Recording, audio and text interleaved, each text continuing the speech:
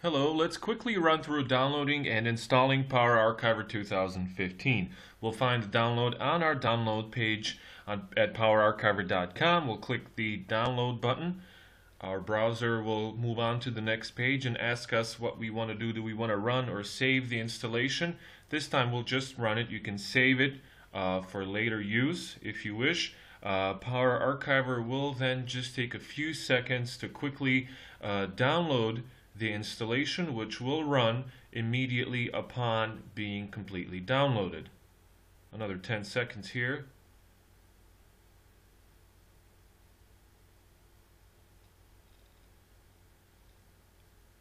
Alright, the installation has downloaded. It will start.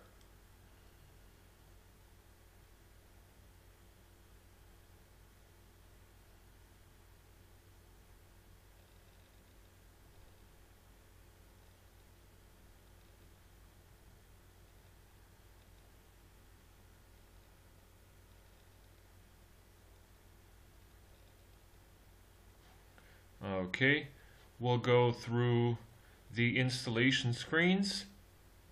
I'll turn this one off to avoid going to the website while I make this video.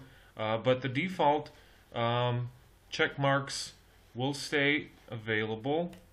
You can check them out. Here's the default installation folder. You can change that to a folder um, that you wish to install to. We'll click next. So that's basically it. Then we'll click install.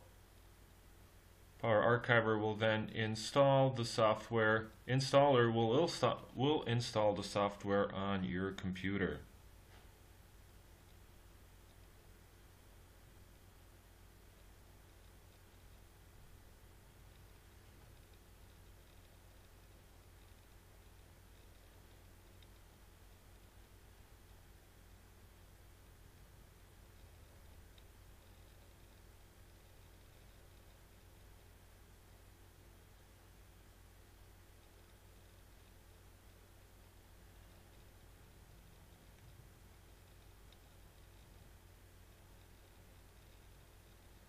Alright, a quick and painless installation.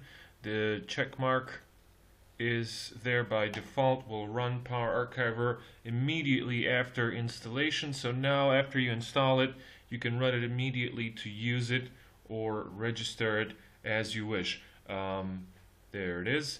Uh, thank you very much for watching. Uh, you can download Power Archiver from our website at uh, powerarchiver.com. Uh, enjoy using Power Archiver and feel free to contact us with any questions you may have. Thank you.